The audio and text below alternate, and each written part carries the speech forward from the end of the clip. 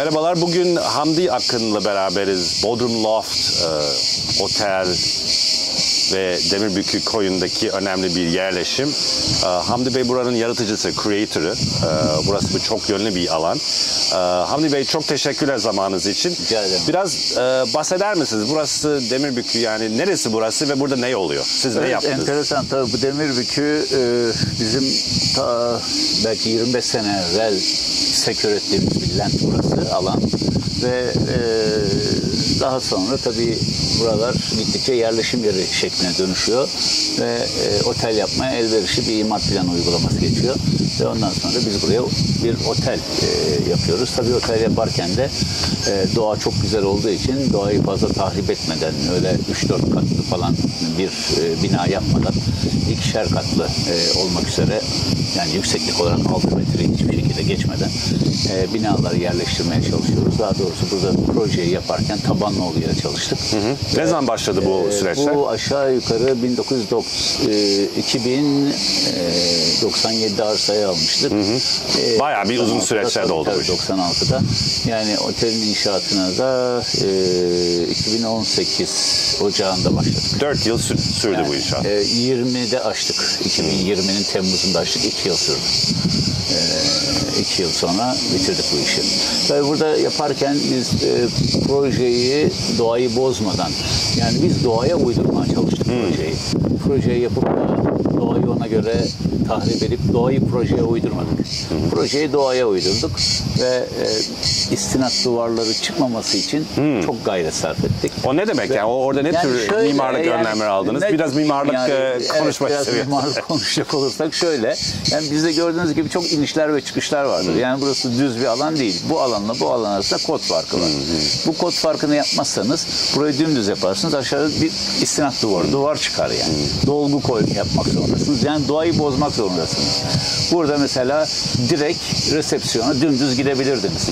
Ama gördüğünüz gibi bir, yine bir kod farkı var. Çünkü oranın kodu yüksekteydi resepsiyonu koyduğumuz yer. Sonra arkasından binalara, evlere girdiğiniz zaman bunu çok net görüyorsunuz. Odanın biri buradayken bir diğer oda 2 metre aşağıda olabiliyor. Diğer bir oda işte 2 metre yukarıda olabiliyor. Çünkü doğanın e, şeyi o. O bir aslında bir deneyimin parçası çünkü topografiyi deneyimliyorsunuz Topografisi öyle. ve doğayı o, şekilde topografiyi algılıyorsunuz. bozmadan. Ama şimdi bunun kolayı ne? Aslında tabii bu bunu yapmak kolay değil. Masraflı ve yaşamı da biraz zorlaştıran bir şey. Ama bunun kolayı ne? Yol girersiniz makinayla, dümdüz yaparsınız. Ee, başka Başka yerlerde bunu görüyoruz Bodrum'da. Dümdüz yaparsınız. Çok kolay olur. Binaları tak tak tak yan yana koyarsınız. Ama burada mimarın tabii çok büyük emeği var. Tabii mimari olarak bu kolay bir yerleşim değil. Burada emek sarf etmek gerekiyor. Birazcık daha fazla çalışmak gerekiyor. İnşaat yaparken de tabii birazcık daha pahalı oluyor, zor oluyor, zaman alıyor. Bütün bunları göze almanız lazım. E, tabii e, doğayla barışık bir şey yapmak ve sonunda da bunun güzel bir eser olarak ortaya çıkmasını istiyorsanız bütün bunlara katlanmak zorundasınız. Nasıl tepkiler? İki yıl burada yaşayan insanlar var. Ee, Siz de yaşıyorsunuz. Nasıl buldunuz sürede- kendi yaptığınız e, Çok kısa sürede yani birinci yılından itibaren çok popüler oldu.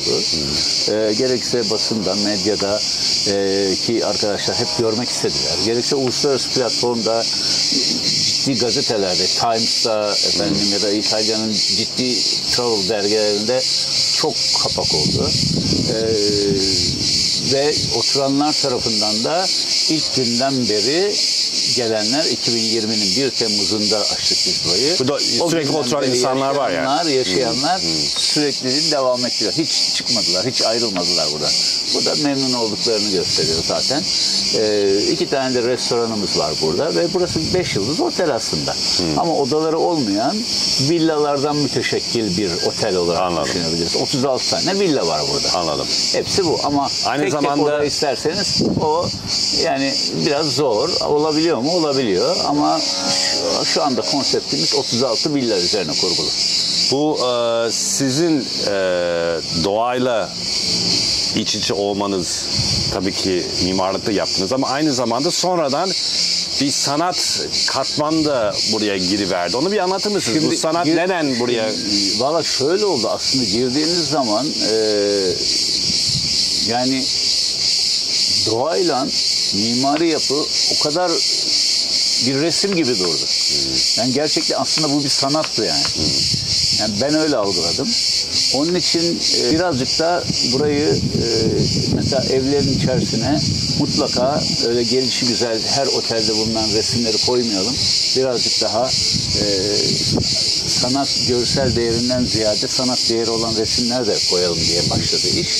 Sonra çevrede Bodrum'da geçerken, gezerken bu işlere baktım buna benzer e, dokusu olan, buna benzer mimarisi olan yerler sanatla çok güzel bütünleşmiş. Örnek Zahi. Yani e, oradan da esinlendik. Ve dolayısıyla dedik ki ya demek ki sadece doğa ve e, beton inşaat değil, bunun içerisine birazcık da sanatı katarsak mükemmel bir harmoni yakalıyoruz. Onun için de e, böyle bir yola gittik açıkçası. İlk- E, ilk, ilk- ilk seneden beri İlk senede kimle çalıştınız? Nasıl İlk oldu? sene e, Globart diye bir firmayla Evet. çalıştık.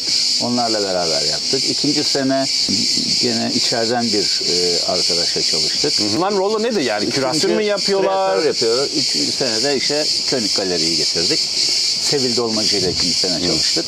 Üçüncü senede König Galeri'yi getirdik. Anladım, okey. Her sene değişik yapmayı hedefliyoruz. Ve giderek de çıtayı biraz yükseltiyoruz. O ne demek yani mesela? Nasıl yükseltmeye e çalışıyorsunuz? şöyle yani şimdi bu sene König Galeri'den e, getirdiğimiz eserlerin maddi değeri çok yüksek. Ha değeri daha fazla. Hem maddi değeri yüksek hem de sanatsal değeri yüksek. Yani beş tane sanatçı var. Bunlar dünyada hepsi bilinen sanatçılar ve onların eserleri var. Ve e, o eserler yani toplasan 8-9 tane eser vardır burada. Ama e, toplam değerine baktığın zaman bayağı bir yüksek yani. Bir milyon doların üzerine çıkıyor. Dolayısıyla buna bu e, çıt, çıtayı yükseltmek dediğimiz bu. Evet. Yani bundan sonra burası sanata gerçekten önem vermiş yerli ve yabancı ziyaretçiler için mutlaka görülmesi gereken bir alan olacak. Yani buraya lokantalara gelen, otel hizmetlerden yararlanan insanlar bu sanatın sizce faydası nedir? Yani buraya gelmişken bu sanatı onlara görmeye Yok, hayır. Yani genelde restorana gelen insan aynı zamanda sanatla gezelim diye gelmiyor. Çünkü o Gelmişken akşam- nedir faydası? Gel, gelmişken tabii ki yani eğer arkadaşlar ikaz ediyorlarsa ki e, sanmıyorum açıkçası. Yani hani burada da şöyle şöyle eserler var. Bunu da gezer misiniz diye e, restorana gelenlere söylemiyorlardır ama belki şimdi siz söylediniz belki burada söylettirmek lazım. Ama e, şöyle oluyor. Randevulu bir sistemimiz var. Buraya e, bir elemanımız var. O elemandan randevu alıyorsunuz. O eleman sizi bütün sanatları hikayelerini de anlatarak Bir içerik var orada. Tabii bir içeriği var. O içeriği, o hikayeyi anlatarak sanat bu e, sanatı gerçekleştiren sanatçının düşünceleri neydi ve eski sanat şeyleri ne, hangi konulara fokus olan bir sanatçı bunu da anlatarak tek tek gezdiriyor. Mesela dün burada bir e, Evet, tepkiler 45 nasıl? kişilik falan bir grup vardı. E, e, İstanbul Modern'den geldiler. E, ve onlar bizim e, elemanlarımızca e, bütün hepsi, bütün e, artlar gezdirildi ve anlatıldı kendisine, e, kendilerine. E, onlar tabii bir grup halinde Bodrum'daki buraları gezmek için yola İstanbul Modern'in organizasyonu. Tabii onun organizasyonu. E, böyle bu tip turlar var. Yani yapanlar var. Sanat turları başladı yani. Artık İşte onu sorayım. Şimdi bu yıl Bodrum'da çağdaş sanatın gerek lokantalarda, otellerde, marinalarda Ya Bodrum Her yerden yer. Bunu nasıl değerlendiriyorsunuz? Bodrum başka bir yer. Zaten Yani stratejik biz- olarak nasıl Biz de durup değerlendiriyorsunuz? dururken Bodrum'a geldiğimizde hadi burada sanat yapalım diye başladı. Bodrum birazcık da bizi buna itti. Çünkü Bodrum'da zaten böyle bir şey var. Yani Bodrum'da böyle bir şey oluşmuş. Biz kendi otelimizde bunun peşine taktık. Öyle diyelim. Ama otellerde çok azdı bu. Bizim bu şeylerde. e, bu sahil şeridinde. E, açıkçası e, işte bizlerle beraber bu iş başlamış oldu burada. Artık bütün oteller de bunu basbayağı otellerin hem tanıtım amacıyla ki ticari de olmuş olabiliyor bu. Yani insanlara ne kadar çok insana fiziki olarak gösterebilirseniz tabii ki e, Instagram'da ya da sanal medyada bunları gösteriyorsunuz, tanıtıyorsunuz otelinizi ama görmesi kadar, dokunması kadar etkili olmuyor. Onun da yolu işte bu tip sanat etkinlikleri düzenleyip kişileri buralara getirip kendi otelinizde reklamını yapmak olmuş oluyor. Dolayısıyla bunun ticari bir faydası da var bu anlamda. Ee, diğer e, anlamda da e, Bodrum'da e, birçok yeri gezerken e, görüyorsunuz e, hem restoranlar hem pastaneler hem ticari alanlar e, klasiklerden bir farklılaşma içerisinde. Yani daha Avrupa'yı olmaya çalışıyorlar ve daha medeni, daha modern, daha turiste e, kendi memleketinde gördükleri gibi imkanlar sunabilmenin peşindeler. Onun için e, o onlar sanata fazlasıyla önem veriyorlar. Yani bir kebapçıya bile gitseniz e, duvarlarda sanat eserlerini görebiliyorsunuz Bodrum'da. E, var yani bunlar. Bunlar olunca bizde niye olmasın? Bizde de olması gerekiyor zaten diye düşündük ve başladık. Şimdi bu Bodrum'da bu noktaya geldi. Ee, ilerisi için sizce yani şimdi sanatta işte bu tür yerlerde turizmle beraber bir deneyim kazandırdık. Bunu da pozitif olarak görüyoruz. Bunun gelişmesi için ne tür Valla izlememiz lazım? zaten yükselen bir değer. Yani sanatın yükselmesi dünyadaki sanat eserlerinin e, ekonomik olarak gördüğü değerlerden zaten ortaya çıkıyor. Şimdi e, zaten bir işin e, popüler olabilmesi için ticari değerinin de olması gerekiyor. Evet yani Sanat şu anda ticari olarak koleksiyonerlere ciddi paralar kazandırmaya başladı. Böyle olunca bir iş kolu haline de dönüştü. Yani sanatsal, şimdi sanat zaten bu paradoks kendi içinde yaşıyor. Yani işte sanat e, sanat için mi yapılmalıdır, işte toplum için mi yapılmalıdır tartışmaları falan filan e, bir yana bir de işin ticari kısmı ortaya çıktı şimdi. E, yani alan satmalı mıdır yoksa koleksiyoner mi olmalıdır? İşte müzayedeler e, hangi eserler müzayedeye koyulabilir, koyulduğu zaman iyi mi olur sanatçı açısından kötü mü olur? Yani bu paradoksları da yaşıyor sanat. Onun için e, ve ama giderek de yükselen bir değer oluyor, ticari değer oluyor. Onun için e, kendiliğinden zaten yükselecektir bu iş. yani bir kendi değer Bir ve ticari değerle bir siz Ve mesela- herkes bunun için yani ticari değeri için de yapılmaya başlanıyor dolayısıyla. Herkes tarafından yapılmaya başlanınca da popüler olacak.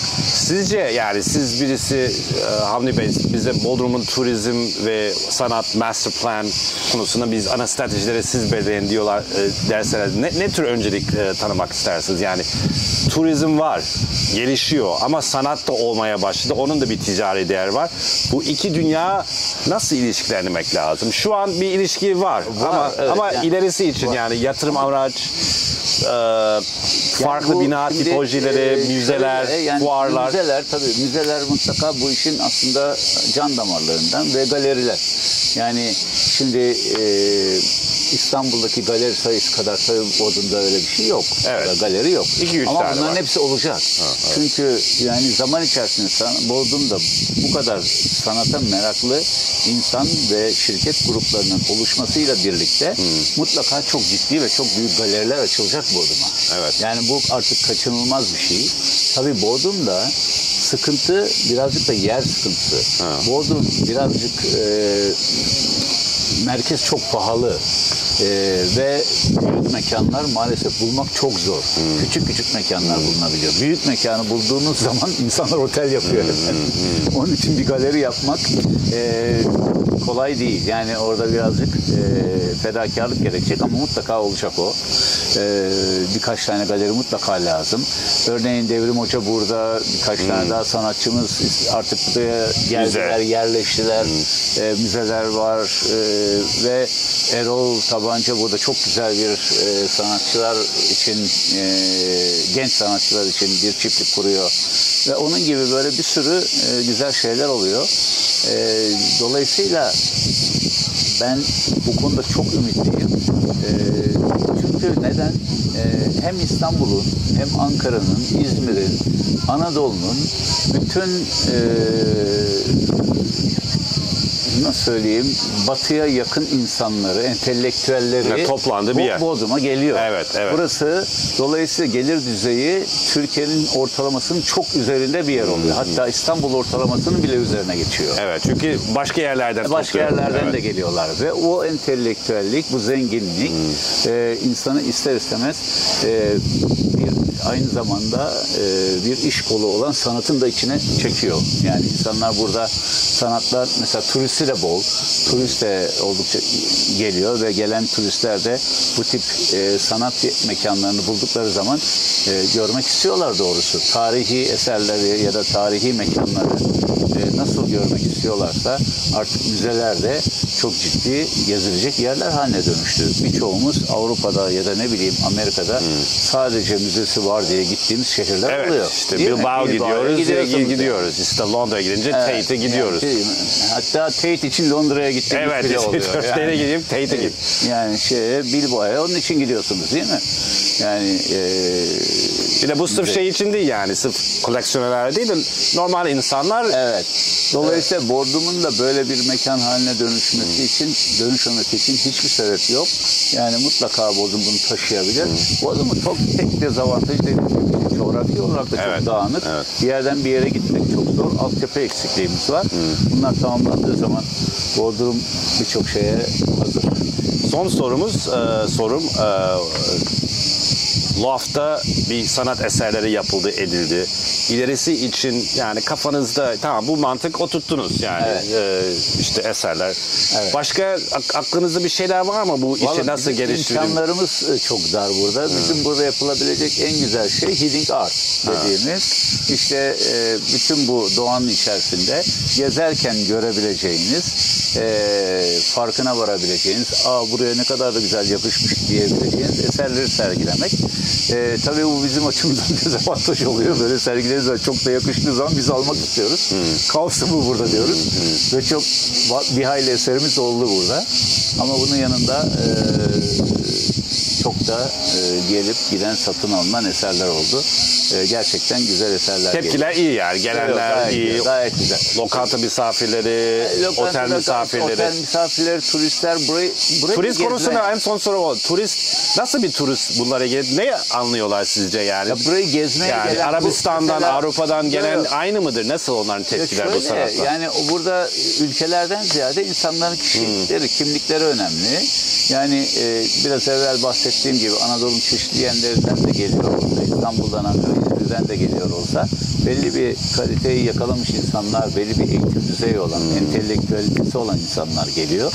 E, yani hiçbir şeyden haberi olmayan bir turistle birçok şeyden haberi olan turistin milliyeti ne olursa olsun bizce aynı. Aynı, kişidir. anladım. Dolayısıyla Bir önemli olan yok. bunun, bunun farkındalığında e, olmuş olması gelen e, ülkenin e, hangi ülkeden geliyorsa gelsin kişinin e, ve farkındalıkları yüksek insanlar geliyorlar. Zaten bazen bizim sadece burayı gezmeye gelenler var. Denizden gelen var, karadan gelen var. O zaman geldikleri zaman Aa, burada bir de sanat şeyi varmış. E, bir açık hava müzesi varmış onu da gezelim diyorlar tabii ki. Ee, Hamdi Bey çok teşekkürler. Bugün e, Bodrum'da The Loft'ın yaratıcısı Hamdi Akın'la beraberdik. E, The Loft konuştuk, e, Bodrum Turizm konuştuk e, ve buradaki önemli sanat eserleri ve sergiler konuştuk. Son sözün var mı Hamdi Bey bir şey? Çok teşekkür ederim. Biz de Ee, teşekkür ederiz. Çok Biz de- çok sağ olun. Çok Ee, teşekkürler. için İlerisi için Bodrum'da Hamdi Bey e, planları ve hedeflerini görmek istiyoruz. E, çok önemli Evet, işler yapıyor. inşallah. Çok teşekkürler.